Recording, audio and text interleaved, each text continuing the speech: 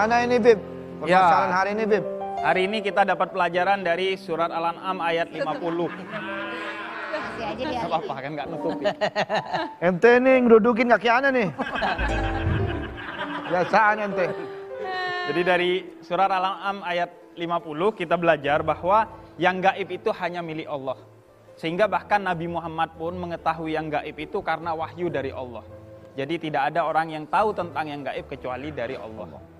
Dan eh, pantun untuk hari ini, uang hilang namanya raib. Bulan Ramadan harusnya puasa. Cakep. Jangan percaya yang gaib kecuali dari yang maha kuasa. Nah, Alhamdulillah terima kasih Habib kalau begitu. Eh, Jegel, Ya, panggil Pak RT. bukan, bukan, bukan. Bukan itu prompter yang tadi. Oh, Anda Prompter wakil yang kalau tadi. begitu. Prompter yang tadi. Ya terima kasih semuanya kalau begitu.